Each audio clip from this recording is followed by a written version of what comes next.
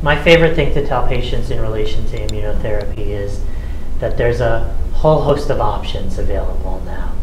Um, you don't have to be in the fittest shape of your life. You don't need to be young and you know, muscular to be able to withstand it.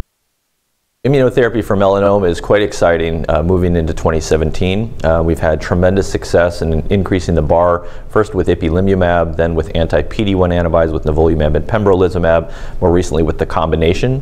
So as we move into 2017, I think uh, building on that success will be even uh, further exciting. So from a standard practice perspective, I think that will be trying to find the nuance about using the combination of ipilimumab and nivolumab um, in the context of the right patients in terms of the side effect profile profile, which can be quite substantial, um, as well as thinking about the upcoming uh, readouts from adjuvant clinical trials, in other words, the use of immunotherapy after surgery.